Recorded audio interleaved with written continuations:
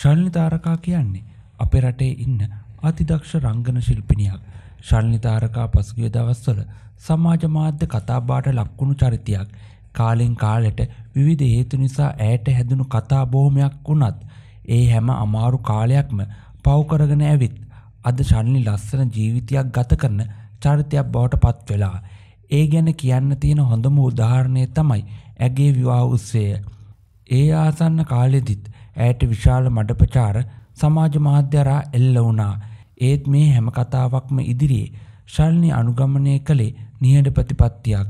හැබැයි මේ පාර නම් පුවත් මැවිලා තියෙන්නේ ශාල්නි කරපු දෙයක් නිසා නම් නොවේ කේක් එකක් නිසා.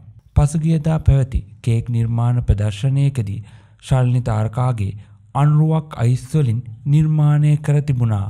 ඒ ගැන අදාළ ඇකඩමියෙන් පේස්බුක් සටානක් පළ කර තිබෙනවා.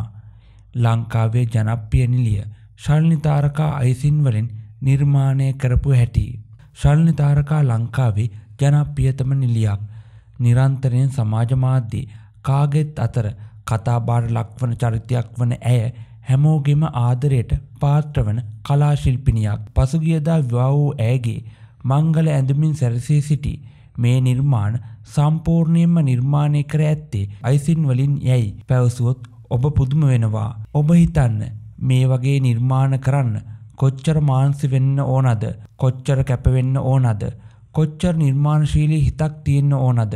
මේ ඔබ දකින්නේ බැලූ බැලූ දෙනා විශ්මයට පත් කරන නිර්මාණ රැසක් ඇතුළත් Lakshmi Kumare international sugar studio and academy සංවිධානය කළ කේක් නිර්මාණ ප්‍රදර්ශනයට ඇතුළත් වූ මෙරට පළමුවරට නිර්මාණය කළ ජනප්‍රිය නිරි ශල්නිතාරකාගේ අයිසින් අනුරුවයි.